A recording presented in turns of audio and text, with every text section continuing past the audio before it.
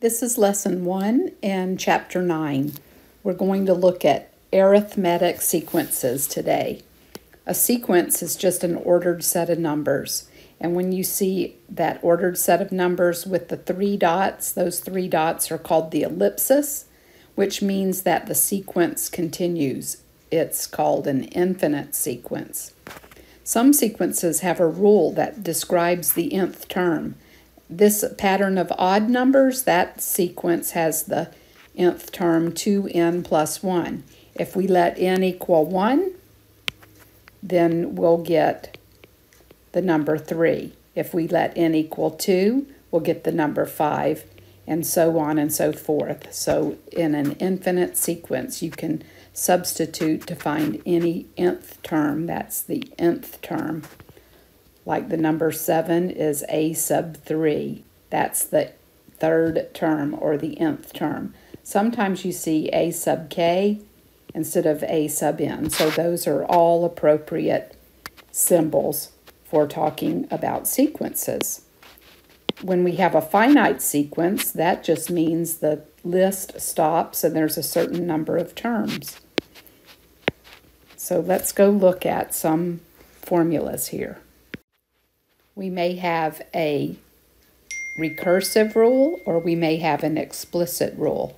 The explicit rule makes a reference to the first term, but a recursive rule makes a reference to the term previous to the one that you have. So if you started at 6, the recursive rule is the this is the first term where n is 1. If we wanted to find the second term, we would have to know the first term which was this was our 6, and then subtract 4. So to find the second term, it would be 6 minus 4, so our second term would be 2 in that recursive formula. So this sequence would start off 6 and then 2 and so on and so forth. That's called a recursive rule. So in example 1, we want to take advantage of that. We want to find the 12th term given the explicit rule a sub n is 12n plus 3, and our n is 12. We got that from the subscript. So the 12th term is 144 plus 3. Our 12th term, which is our nth term, is 147. We didn't have to find all of the terms from 1 up to 12. We could go straight for the 12th term. If you have a sequence given by a sub n is 4 plus the quantity n minus 1 times 5, if we want to find the first three terms, we would start off a sub 1 is 4 plus 1 minus 1, so that's 0. That means our a sub 1 term is just 4. a sub 2 is 4 plus 2 minus 1, so that's 1 times 5 and 5 plus 4 makes the second term 9. Then the third term is 4 plus 3 minus 1, so that is 2 times 5, which is 10, and 10 plus 4 makes our third term 14. So that sequence is 4, 9, 14. Those are the first three terms in the explicit formula. To find the 11th term, we'll just skip over 5 through 10 and go straight for the 11th term. That would be 4 plus 11 minus 1, which is 10. So 4 plus 10 times 5 is 54. So the 11th term is 54. That's pretty straightforward. This should have been a 4 right there, not a 14. So A sub 4. Many times we'll want to find a general rule or a pattern. In example 3, we have three of those cases. So this first one, 6, 16, 26, 36, you can see the difference between each of the terms. The difference I'll call D. The difference is 10. So if we want to write a general rule, we can say that the a sub n term would be, we want to start off with 6, and then if this is the first term, we want to say n minus 1, so we don't want to have a multiple of 10. That term would be 0 here, and then multiply by 10. So simplifying that, we've got 6 plus 10n minus 10. So our a sub n term, or the rule that we would follow to generate that sequence a sub n, would be 10 times our nth term minus 4. So it's a linear sequence of terms. In the next, in part B, it looks like the difference is a quarter. So we've got one fourth for our difference between terms. And if we're looking for that rule, we're going to start with the 1. So our a sub n term would start with the 1. And then we want to kill off the n minus 1 to make that a 0 times 1 fourth. So simplifying that, a sub n, we've got 1 plus 1 fourth of our nth term minus 1 fourth. And 1 minus a fourth is 3 fourths. So our nth term or explicit rule would be 0.25n plus 3 fourths to follow that pattern and create that sequence finally, in the last one, the difference here between negative 1 and negative 4, negative 4 and negative 7, looks like we're subtracting 3. So following that procedure to get the nth term, we're going to start with negative 1, and then we're going to say n minus 1 to get rid of that. So we only have negative 1, and then times negative 3. Simplifying that gives us a sub n term of negative 1 minus 3n plus 3, and 3 minus 1 gives us our explicit formula of 2 minus 3n. So finding general terms and writing that nth term explicit rule is easy. Next, let's look at recursive definitions. They're a little more cumbersome because, like we said before, we have to start with some initial condition. That's our A sub 1 term. And then we have to use the recursive formula where this term has to get rid of the first term or uses the first term in order to move on, plus the difference. So in this pattern 1, 4, 7, 10, that's like the example before, only positive we have a difference of 3. So we're adding 3. And our a sub 1 term, like this is asking for, our a sub 1 term is 1. So a recursive formula is written in two parts, the initial condition and then the recursive part. So to, to write this as a recursive rule, we're going to say our a sub 1 term is 1, and then our a sub n term is a sub n minus 1, so the term before, plus 3 more. So this is our recursive rule. In part B, the difference is subtracting 5, and our a sub 1 term is 4, and our nth term recursive formula is the term before minus 5. So this is the recursive formula. On this page, you can see that I've organized all of our formulas for us here, talking about arithmetic sequences, how they have the same differences between terms, or if you don't want to think about subtraction, the same sum. And each term in the sequence can be obtained recursively from its previous term by adding that difference. So you see the explicit formula here and the recursive formula here. Now this part, the C value, I didn't talk about that before, but we can see that this is similar to y equals mx plus b. Do you see that in this case where a sub n is your y and your difference is your slope and then your b value is your y-intercept. If you see that pattern, sometimes that helps you to figure out how to find that c value. It's the first term minus the difference. So it's more like looking for that zero term in the slope-intercept formula.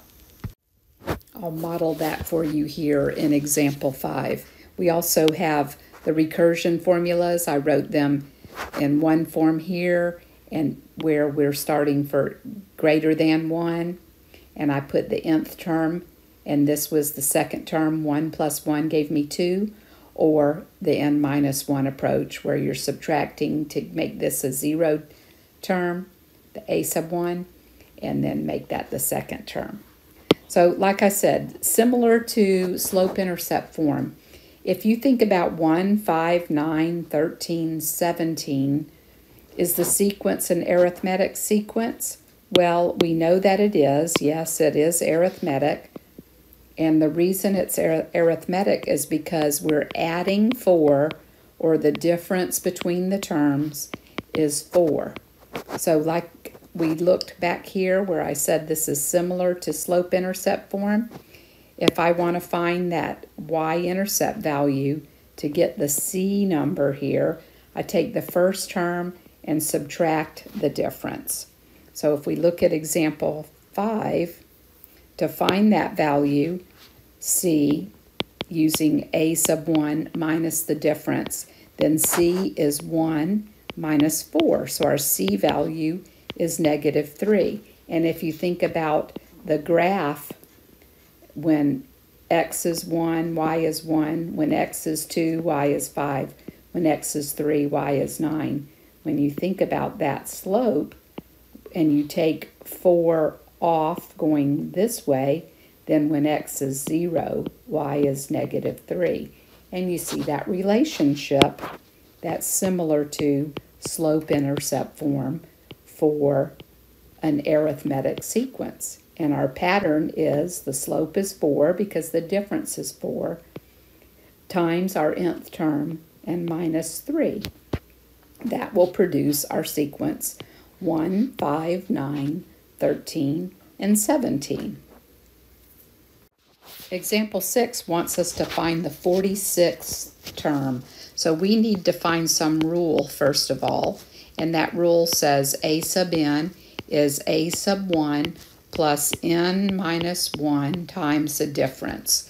And our difference here looks like we're adding 3 each time. So 5 minus 2 is 3, 8 minus 5 is 3, and our first term is 2.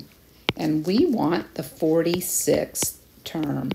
So we're using this model with this information. So the 46th term would be the first term, which is 2, and we're going to say 46 is our n minus 1, and our difference is 3, so multiply by 3.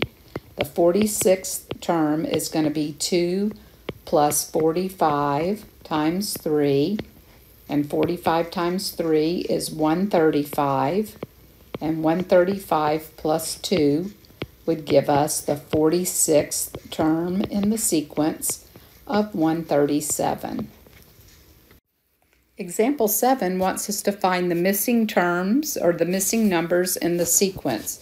So if you look at the spaces here, you see that there's a space here and a space here and a space here.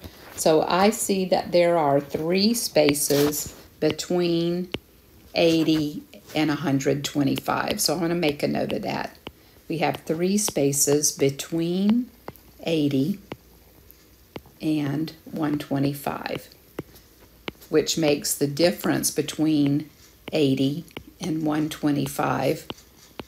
The difference is 45, but since there's three spaces, 45 divided by 3 gives us 15 equally. So if we add 15, so 80 plus 15 would give us 95 for the second term, and plus 15 would give us 110 for the third term, and then finally, plus 15 would give us 125 for the fourth term. So by finding the difference between the spaces, 15 apiece, we have replaced those missing numbers.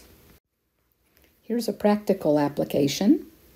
The number of seats in the first row in an arena form an arithmetic sequence.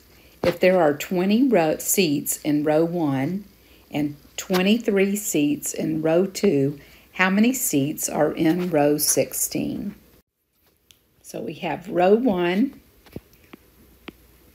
with 20 seats and row 2 with 23 and we want to know how many seats in row 16. So it looks like the difference is 3. And if we write a rule for that, then our rules should be a sub n is the first term plus n minus 1 times the difference. And we want the rule for the 16th row. So our rule would be 20 for the first row plus n minus 1 times 3.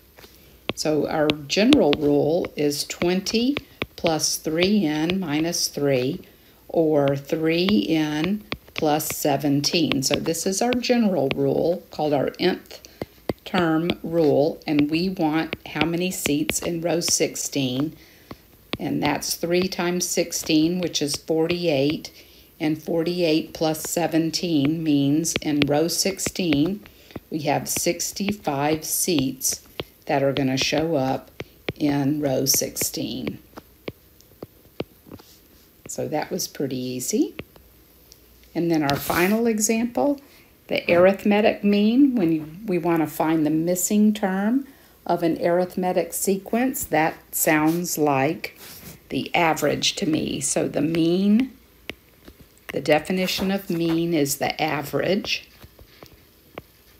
And we're just going to take the average. So 132 and 98 divided by 2 makes 115.